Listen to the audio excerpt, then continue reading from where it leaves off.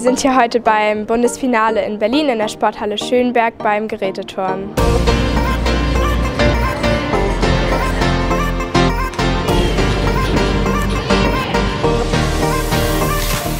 Es gibt vier Disziplinen oder Geräte, einmal Balken, Boden, Stufenbahn und Sprung. Das Ziel ist eine hohe Punktzahl zu erzielen. Also wenn man eine Übung turnt, zum Beispiel am Boden, gibt es eine Punktzahl, die Höchstpunktzahl, die man erreichen kann.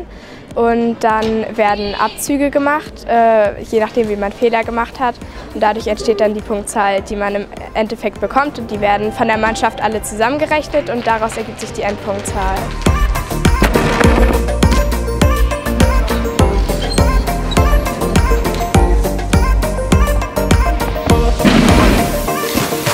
Also für uns ist es jedes Jahr ein Erlebnis, hierher zu kommen. Wir haben das Glück, dass wir in den letzten Jahren mit ein oder zwei Mannschaften fast immer hier vertreten waren. Und es ist für die Kinder als auch für die Betreuer ein Riesenerlebnis, hier zu sein, sich mit anderen Mannschaften zu messen.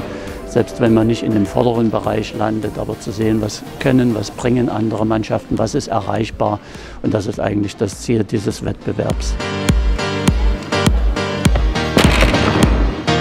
Jugend trainiert für Olympia ist für den Deutschen Turnerbund ein wichtiger Wettkampf, weil hier die Zusammenarbeit zwischen Schule und Verein besonders gefördert wird. Hier werden dann auch die Leistungen erbracht, die man dann heute hier sehen kann.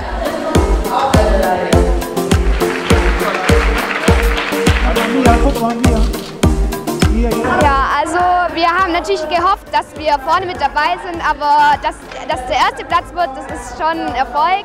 Und ich denke, wir werden heute Abend schon feiern, ja genau.